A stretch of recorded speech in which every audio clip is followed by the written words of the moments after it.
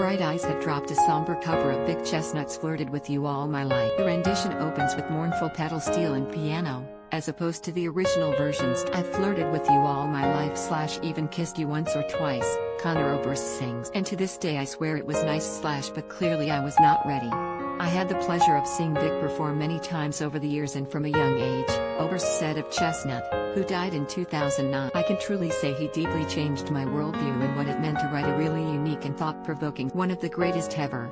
Always missed. Here is our humble version of one of his best. Bright Eyes released Down in the Weeds, Where the World Once was in August. The album marks their first release in nearly a decade, a decision that the band said happened organically. Last fall, they released the song Miracle of Life for Planned Parenthood, while Oberst wrapped up 2020 by releasing the live album Live at O'Leavers with his country covers band Dolores Diaz and the stand